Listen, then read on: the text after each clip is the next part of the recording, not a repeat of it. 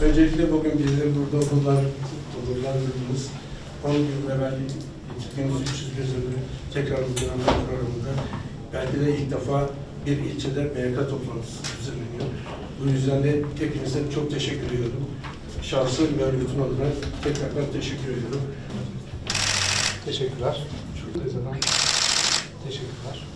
Öncelikle hoş geldiniz. Sizi burada ağırlamaktan e, çok mutluyuz. İçimiz çok buruk. 10 yıl önce buradaydık. Aradan 10 yıl geçti. Hala adalet diye bağırıyoruz. Sizlerin öncülüğünde adaleti yerine getirebilmek için durmadan da bağırmaya devam edeceğiz.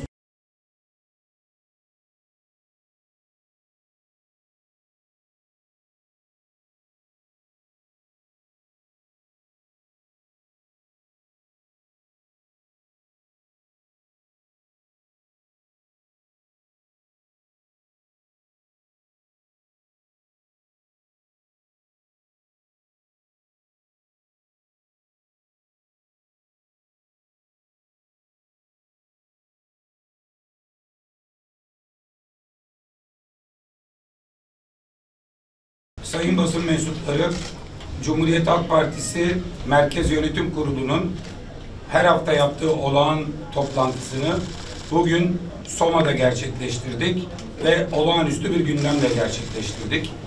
Bugün 13 Mayıs 2024 Soma maden faciasının Türkiye Cumhuriyeti ve dünya tarihinin en büyük iş cinayetlerinden bir tanesinin 10. yıl dönümündeyiz. 10 yıl önce burada üretim baskısı yüzünden, yeterli denetim olmaması yüzünden, mevzuattaki eksiklikler yüzünden 301 tane baba, evlat, eş hayatını kaybettiler. Ve büyük bir travma bıraktılar ve travması pek çoklarımız açısından halen daha devam ediyor.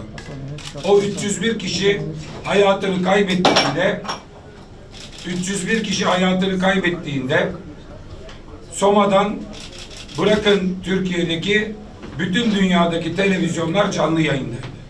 Bir hafta boyunca madeni gören bir tepe üzerinden canlı yayınlar yapıldı ve herkes şunu söylüyordu. Eğer Soma'yı unutursak yüreğimiz kurusun diyorlardı. 10 yıl geçti. Bu 10 yıl içinde işçilere verilen sözler, çok uğraşılarak yapılan yasal düzenlemeler, tutulmayan sözler, hayal kırıklıkları, yeni maden faciaları, yargılamalar ve 10 yılın sonunda geldiğimiz nokta şudur. Hayatını kaybeden işçilerin ailelerine verilmiş sözler kısmen tutuldu. Yaşayan madencilere verilen sözlerin maddi kısımlarının pek çoğu tutuldu. Örneğin iki asgari ücrete çıkarılması, hafta tatilinin iki güne çıkarılması, emeklilik yaşıyla ilgili düzenlemeler. Ancak bunların her birisinin madencilerin uzun mücadeleleri, bizlerin onlarla bir verdiğimiz uzun ve onlar açısından yorucu ve kayıplarla dolu yıllara sari mücadeleler sonucunda elde edildiğini ifade etmek isterim. İşçi sağlığı ve iş güvenliği noktasında ise verilen sözlerin hiçbir tanesi tutulmadı. Çünkü buradaki tercih son derece politik. Burada işçinin sağlığı daha az para kazandıracaksa daha çok parayı tercih edenler, işçinin hayatıyla ya da meslek hastalığına yakalanıp yakalanmamasıyla patronun karlılığı karşı karşıya gelince patrondan yana tavır koyanların geçtiğimiz 10 yıllık süreci belirlediğini ifade etmek isterim. Ve hep birlikte çok basit bir şekilde çok basit bir veriye bakalım. 301 madencinin ölmesi bütün dünya televizyonlarını bir hafta meşgul eden bir olay. Öyle mi? Soma'dan bugüne kadar Türkiye'de 649 maden işçisi daha öldü. İki kere daha Soma faciası yaşandı. Kimsenin haberi yok. Kimse ilgilenmiyor. Yani aslında burada çok ironik ve çok tersten emekçilere bir mesaj var. Örgütlenin, birlikte hareket edin.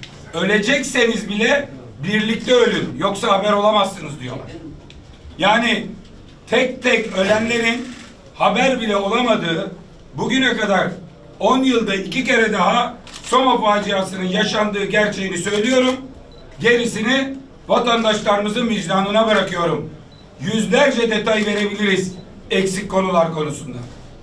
Soma faciasından sonra 20 gün önce benim meclis kürsüsünde kurulsun deyip kurulmayan komisyon 6 ay önce kurulmasını teklif edip 20 gün kala konuşmasını yaptığımız kurulmayan komisyon faciadan 20 gün sonra kuruldu. O komisyonun hazırladığı rapor fevkalade güçlü bir rapor. Dört parti 880 sayfa rapor yazdı. Ayrıca da biz MHP ve o günkü BDP ayrı ayrı muhalefet şerleri yazdık. Cumhuriyet Halk Partisi'nin toplamı 1250 sayfa olan raporun 880'i ortak, bu rapora yazdığı 250 sayfalık şerh meclis tarihinin en kapsamlı, en kuvvetli muhalefet şerhlerinden bir tanesidir. Ancak ortaklaştığımız 880 sayfanın 90 sayfası bir daha facialar yaşanmasın diyedir. Bunun kapağını bile açmayanlar o günden bugüne iki kere daha Soma maden faciası yaşanmasına sebep olmuşlardır. Bunun dışında her müzakere samimiyetten uzaktır. Bunun dışında her değerlendirme samimiyetten uzaktır. Biriket gibi komisyon raporu var. İçinde yazanlardan bir satırını yerine getirseniz bir faciayı önlersiniz. Örneğin içinde yazıyor ki eski imalatlar haritaya işlenmeli, eski imalatlara su ve gaz ölçüm cihazları konmalıdır. Sırf bu yerine gelseydi Ermenek'teki boş bir imalatın içi su dolmuş, kaza kaza işçiler kendi mezarlarını kazıp içeriye tonlarca su dolup teyzenin benim oğlum yüzme bilmez nasıl kurtulacak dediği facia olmayacaktı. Bu tek bir madde. Bütün örnekler bu konuyu araştırmak ve kamu yararına doğru bir iş yapmak isteyen tüm gazetecilerin emrine hamade şekilde raporun sayfalarında durmaktadır. Bakın oralarda ne haberler, bakın oralarda terk edilmiş ne sorumluluklar vardır. Biz Cumhuriyet Halk Partisi olarak iş sağlığı değil işçi sağlığı demeye, iş güvenliği değil işçi güvenliği demeye, doğru, yapıcı, etkili muhalefetimizi bu alanda sürdürmeye devam edeceğiz. Türkiye Cumhuriyeti'nde en köklü siyasi parti olan Cumhuriyet Halk Partisi parti tarihinde ilk kez bir merkez yönetim kurulu toplantısını bir ilçe binasında yapmıştır. Soma ilçe binası böyle bir toplantının olması için son derece anlamlıdır. İlçe başkanımız ve yönetimine onların şahsında bizi hiç yalnız bırakmayan bütün Soma örgütümüze, Manisa İl Başkanlığımıza ve bugüne kadar Soma'yı yalnız bırakmayan İzmir'den, Manisa'dan kıymetli belediye başkanlarımıza teşekkür ediyorum. Facianın olduğu gün Manisa'nın üç ilçesinden, Soma'dan, Kırkağaç'tan, Akisar'dan, İzmir'in iki ilçesinden, Kınık'tan, Bergama'dan, Balıkesir'in bir ilçesinden, Savaştepe'den kalkan servisler o arkadaşlarımızı ölüme taşımışlardı. O gün o altı ilçenin hiçbirisi de biz yoktuk. Bu seçimlerden önce de sadece birinde vardık. Ancak şunu ifade etmem gerekir ki Soma'daki seçim sonuçlarına her seçimde bakıp iktidar partisi kazanıyor diye sorumsuzca incitici, kırıcı, hedef gösterici, hakaret içeren tweetleri atanlar şunu bilsinler ki o altı ilçenin altısında da bugün Cumhuriyet Halk Partisi var. Olmasaydı da kimseye söyleyecek bir şeyimiz yoktu. Kusur ne emekçinindir ne seçmenindir. Kusur onları ikna edemeyen bizlerindir. Bu süreçte onları ikna ettik. Yerelde işçinin, emekçinin, halkın, çiftçinin, köylünün partisini iktidar yaptık. İlk genel seçimlerde madencilerin, işçilerin, köylülerin, emekçilerin partisini iktidar yapacağız. O zaman bu sorunların hepsi çözülecek. O güne kadar mücadele etmeye ve Soma'ya ve hayatını kaybeden herkese sahip çıkmaya devam edeceğiz. Bugün bir televizyon kanalına açıklama yapan, hayatına mal olduğu her işçi için sadece beş buçuk gün yatan Can Gürkan bugün bir televizyon kanalına avukatı aracılığıyla şu açıklamayı yapmış. 10 yıl geçti. Ben somayı geride bıraktım. Hatırlamak istemiyorum. Bu işçilerin ölümünden sorumlu olan yattığı süre yetecek kadar ceza verilip sarı bırakılan kişi. Birazdan biz o günü unuttum, geride bıraktım diyor. Geride bırakamayan, her gece rüyasında o günü bir daha yaşayan evlatlarla, eşlerle, annelerle omuz omuza yürüyüp mezarları ziyaret edeceğiz. Ve bu taş kalpli adama bu cesareti veren, bu rejimi değiştirene kadar da mücadele edeceğiz. Biz unutmadık, unutmayacağız, unutturmayacağız. Bu küstahlardan ve bu küstahların ağa babalarından günü gelince hesap soracağız. Can Gürkan, bu açıklamayı da yaptın ya, iki elim yakandadır, iki elim yakandadır. Sana bunun hesabını sormadan ölür gidersem gözüm açık gidecek. Bunu da en net şekilde ifade etmek istiyorum.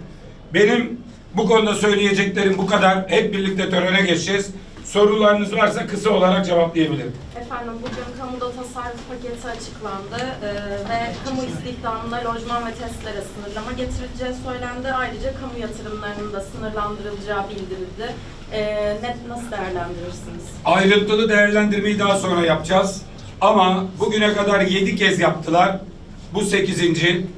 Bu sekizincisinin ilanı daha önceki yedi genelgeye kendilerinin uymadıklarını, uydurmadıklarının göstergesidir. Bugünkünün diğerlerinden ayırıcı önemli özelliği hep eleştirdiğimiz sarayın ilk kez genelge kapsamına alınmasıdır. Sarayın harcamalarının. Meclis dışarıda bırakılmıştır. Bunun eleştirilecek bir tarafı yok. Kuvvetler ayrılığı gereği yürütme yasamaya talimat veremeyeceği için yapılmıştır. Meclis Başkanı'nın bu konuda geçtiğimiz haftaki ifadelerini hızla bu genelgeye ve ilerisine dönüştürerek daha da ilerisinde bir tasarruf genelgesini meclis içinde yayınlamasını bekliyorum. Kendisinin böyle bir çalışması olacaksa destek veriyorum, teşvik ediyorum.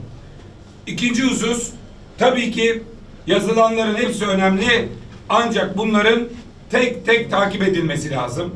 Burada üç yıl boyunca yeni personel istihdam edilmeyeceğini, sadece emekli kadar personel alınacağını ve kamuda esnek ve uzaktan çalışma modellerinin geliştireceği ifadeleri ise emekçiler açısından son derece riskli bir durumdur.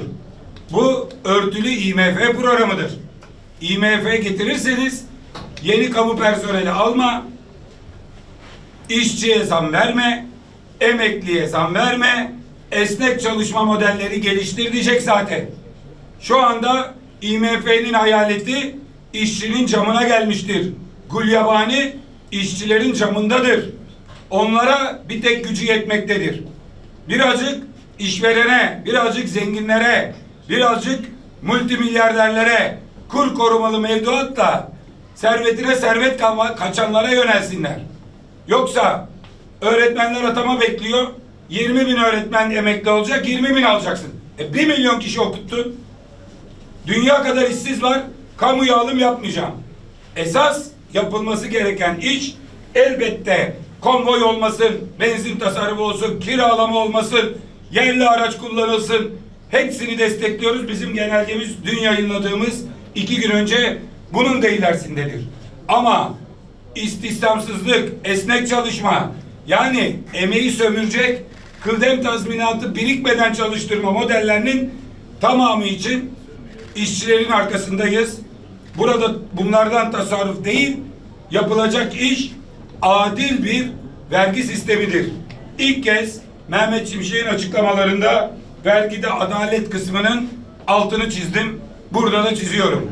Türkiye'de verginin yüzde 65'i dolaylı vergi. Yüzde 24'ü de çalışanların maaşlarından kesilen gelir vergisi. Geriye kalıyor yüzde 11. Esas vergi vermesi gereken kazananlar yüzde 11'i veriyor. Emekçiler 24'ü veriyor. Gerisini kazanan kazanmayanın gözünün yaşına bakmadan elektrikten, sudan, telefondan, sütten, ekmekten alıyorlar. Bu sistem değişmelidir. Bu değişirse kaynak bulunur. Bu değişmeden kimse yoksullarla uğraşmasın. Efendim bir sorumuz daha olacaktı. Tersten karşılarız. Bir sorumuz daha olacak çok kısa. Arapça tabelalarla ilgili Hemen sizin bir söyleyeyim. açıklamanız vardı. Epey de bir tepkiye neden oldu. Sizce yanlış mı anlaşıldınız? Doğrusu nedir? Arapça Arapça tabelalarla ilgili belediye başkanları toplantısında da aynısını söyledim. Canlı yayınlarda da söylüyorum. Söylemeye de devam edeceğim. Bir kere ilgili yasal düzenleme gereğince yabancı dilde tabelalar için bir düzenleme var. Belediye başkanlarımıza tüm diller için bu düzenlemeye uymaları gerektiğini söyledik. İstismar edilen ve alınan kısım şu. Arapça bir yazıyı kanuna uygun yazışmalar, ihtarlar yapıp ilgilisine sökmek için süre vermeden ya da sökmüyorsa belediyenin ilgili birimiyle yapmadan belediye başkanının kendi elinden yırtması fazladan bir popülizmdir. Bu doğru değil. Ayrıca söylediğim şu. Bu ülkede 6 milyona yakın vatandaşımızın Türkiye vatandaşının Hatay'da, Şanlıurfa'da, Mardin'de, Batman'da yaşayan 6 milyon vatandaşımızın ana dili Arapçadır. Arapçaya yapılan hürmetsizlik o kişilere karşı yapılmış hürmetsizlik olarak algılanıyor. O yüzden nezaketi koruyalım. Ayrıca Kur'an-ı Kerim Arapçanın orijinal dilidir. Televizyon izleyen bir vatandaş eğer Arapçada bilmiyorsa bir Cumhuriyet Halk Partili belediye başkanının kendi elleriyle yırttığı metni Kur'an-ı Kerim'le özdeşleştirip bilinç altında partimize karşı olumsuz bir duyguya kapılabilir diye uyardım. Yine uyarıyorum. Arapçaya da diğer yabancı dillere de kanunlara uygun muamele yapılmalıdır. Ayrıca lüzumsuz Arapça tabela kirliliğiyle belediyelerimiz elbette mücadele etmelidir. Ancak bunu kurullara, kurallara uygun şekilde yapılmalıdır. Bunu bir yabancı düşmanlığına dönüştürecek bir yaklaşım doğru değildir. Türkiye'deki Araplardan değil, Türkiye'deki Suriyeci sığınmacılarla ilgili bakın bazı siyasiler Arap kelimesini küfür gibi kullanıyor. 6 milyon Arap vatandaşımız var bizim. Suriyeli sığınmacılarla ilgili diyeceğimiz şudur. Hızla Suriye ile görüşmeler yapılmalı. Barış sağlanmalı. Avrupa Birliği'nden buna ben de elimi taşın altına koyacağım. Fonlar bulunmalı. Mi- Birleşmiş Milletler'den bulunmalı ve bu fonlarla orası yaşanabilir hale getirilmeli.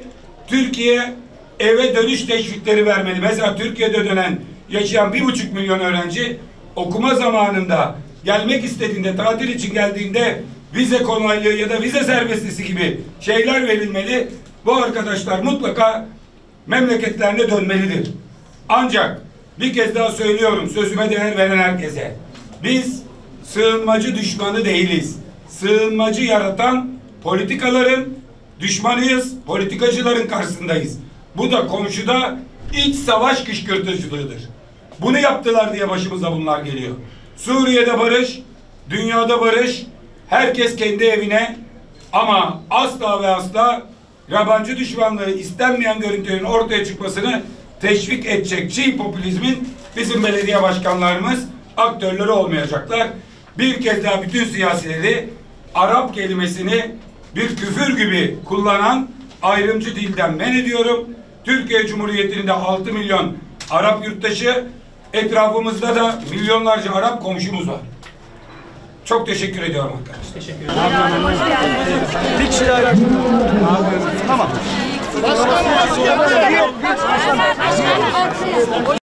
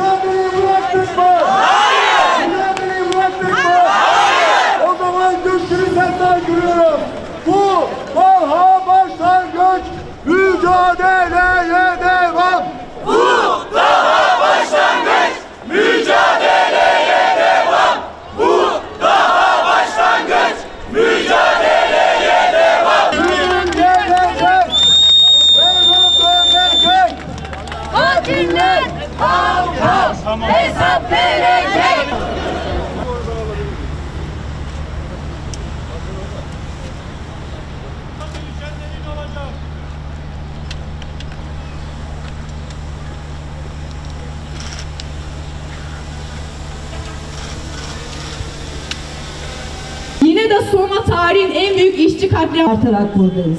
Çok değerli kurumlar, kişiler, siyasi parti olmak üzere görür, gösterir. Vazgeçmeyelim. Madenci ailelerin geleceği, anneler babalar yaşlanırsa çocuklar büyür, gelecekler büyür. Çok yakında çözüldü, mücadeleyle çözüldü. Biz ayrı ayrı olduğumuzda bizi öldürüyor. Öldürmekle kalmıyor. Yok sayıyor. Acıyı görmüyor. Bunun için örgütlülük önemlidir. Biz de bir kusur göremedik diyen sarı sendikadan olmayın. Bu sarı sendikacılığı Soma'dan isyan ediyoruz emekçilerin yürüyecek bir adım yolu yoktur. Demelere engel olan o sarı sendika Soma'daki 301 işçinin değil bizim kaybımız 301 değil 303'tür. Bu dava uğrunda defalarca yürüyerek Ankara'ya doğru giden Er Atan Yusuf yerken tekmeyi yiyen kim? Erdal Kocabıyık. Erdal Kocabıyık o tekmeden sonra işinden oldu. Onu dönemin Bergama Belediye Başkanı'ndan rica ettik. Seraya koydu. Kömürle değil çiçekle uğraşıyordu. Bakın net söylüyorum. Facianın olduğu gün 301 kişi o ölüme otobüslerle gitti. Nereden kalktı otobüsler? Soma'dan kalktı. AK Partilisine de MHP'lisine de sahip çıkacağız. Elbette sizleri, sizlerin mücadelesini bir gün yalnız bırakmayacağız. Alın terinin karşılığını alacak, örgütlenmeyi başaracak. Birlikte olalım, meydanları dolduralım, herkesin hakkını söke söke alalım. Hepinizi saygıyla selamlıyorum. Hatıraları önünde saygıyla eğiliyorum.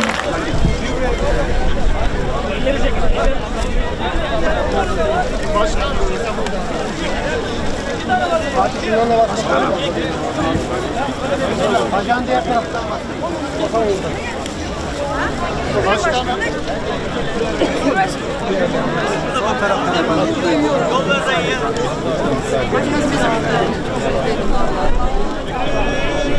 Biz geçelim de. Boyda. Başkanım. Adamını görelim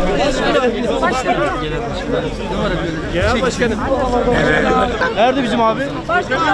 Evet. Çok memnunuz sizden. Çok doğayız. Sağ ol, teşekkür ederim. Çok çok İlk kömüre rastlanıyor. 99 yıllarında kömürü işletip geliştirmesi için de Osman Ağa kişiye devrediyorlar. Buranın birebir aynısı, köyün aynısı burada sembol olarak resmedildi. Tarihi Kırkol camimiz var. Tarihi birebir başkanım gördüğünüz aynı şekilde şu an Darkale köyünü buraya resmettiler.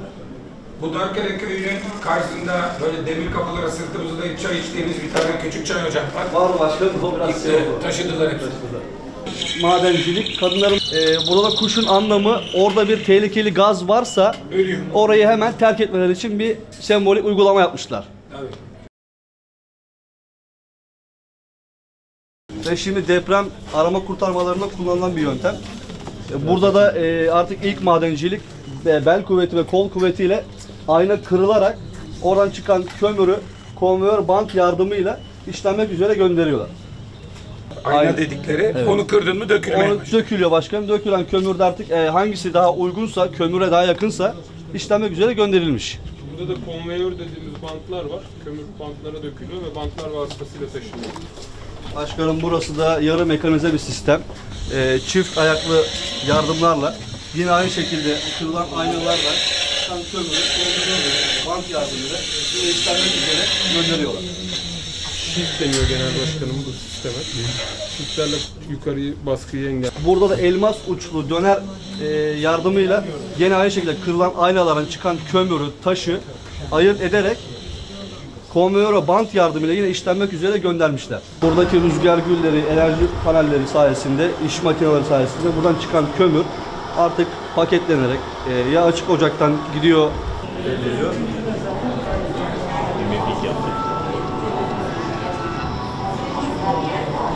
Evet,